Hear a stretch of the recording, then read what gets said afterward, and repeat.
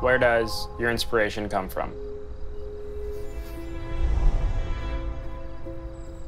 The glow of the evening sun? Native curves of the earth? Nature's aggressive behavior? Or is it shapes in the dirt? Reflections of the world and its waters?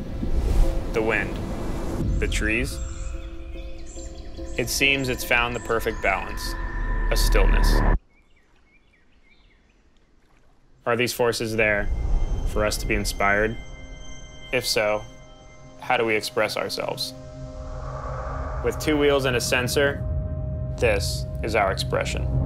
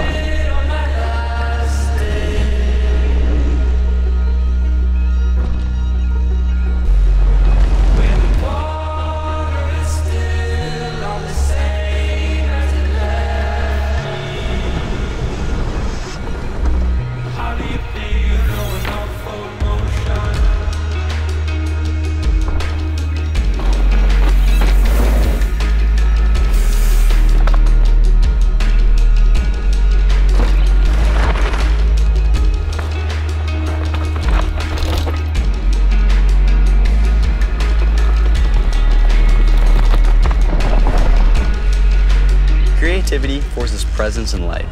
And aren't we all after a bit more of that? The earth and the mind can be loud.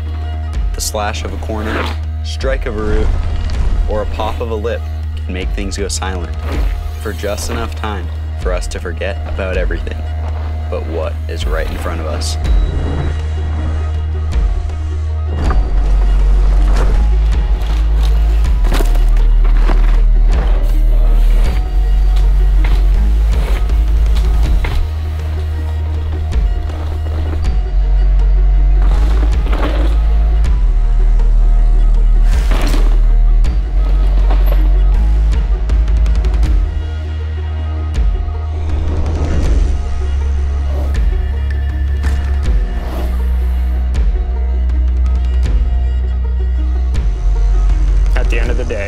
We ever content?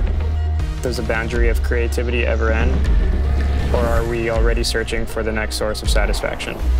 When that imagination runs out, so does our existence.